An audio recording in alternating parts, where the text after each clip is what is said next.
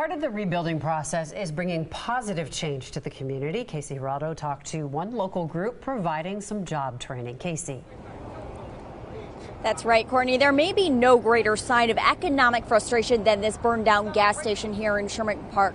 Even though there are no quick solutions, there is one group that's trying to rebuild the community by building its workforce.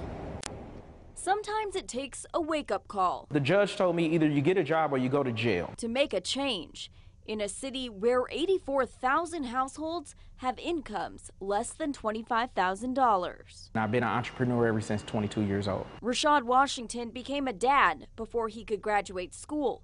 His dad wasn't around, his mom worked all the time.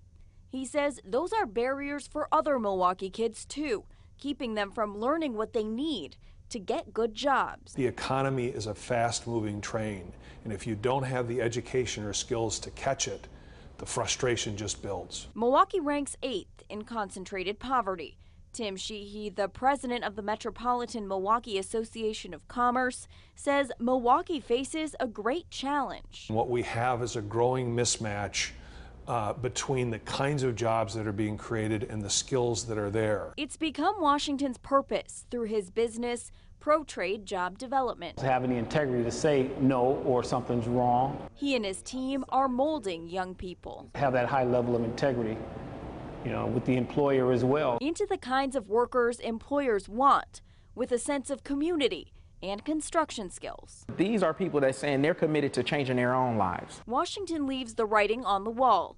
Change is a choice, and success is possible. Washington says their goal is to create careers for their students. They've had about 200 go through the program with a 70% employment rate. Live in Sherman Park, Casey Geraldo for today's TMJ4. All right, Casey, thank you.